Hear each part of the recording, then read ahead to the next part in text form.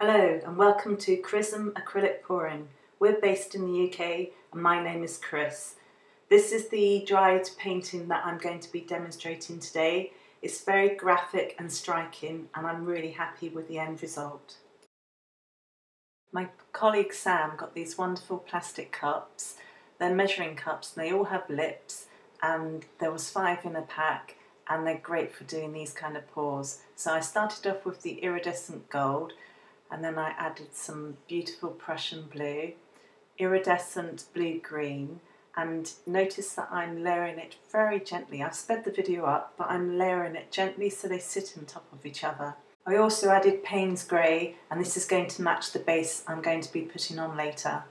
With these pours, you're alternating the colours. You need some dark contrasting colours to go with the lighter colours, and these give the illusion of um, depth and shadow. I've also added a bit of iridescent green yellow, but only a small amount, and that pretty much disappeared in the um, pour. The main colours I really wanted to show were the turquoisey green iridescent blue colour and the gold, and this is what I've achieved.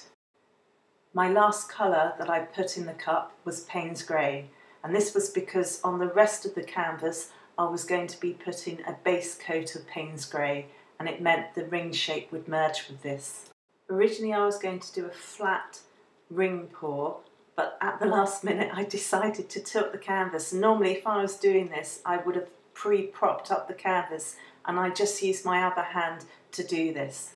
A lot of people usually put a base coat on their um, ring pours to help the paint move but I find that if I put a base layer underneath the um, paint that I'm pouring onto the canvas sometimes it can rise up and leave marks and spots. So I'd rather just do a straight pour straight onto the canvas and then add the base around the um, colours afterwards.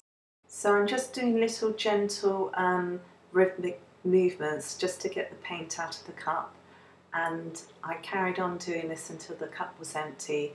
When I was near the end I just used my finger to catch the paint to make sure I didn't leave too big a mark. Time for super speedy tilting. Okay, this is actually sped up.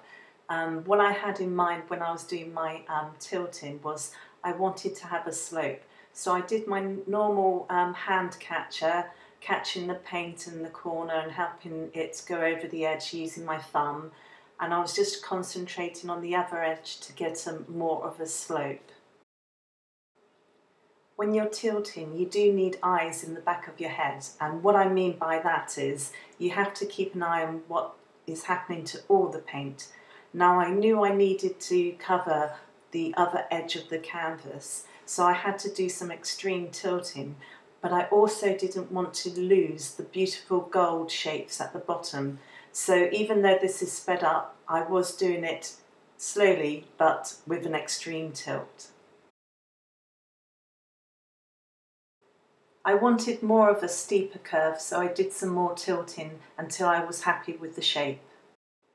I then added my base and this was a Payne's Grey, really lovely smoky grey black colour which I had thinned so it would flow easily and this was what I wanted um, the background of the painting to be. It's almost like a midnight sky colour.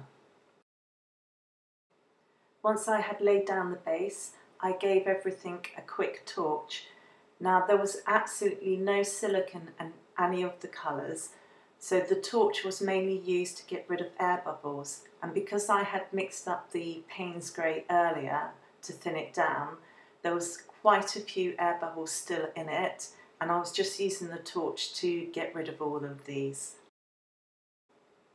I did a bit of blowing out to soften the edge of the um, pour and this was where the Payne's Grey met the colours of my pour and I'm now using a toothpick just to add some feathery touches and just to make sure I'm really happy with the softness of the edge.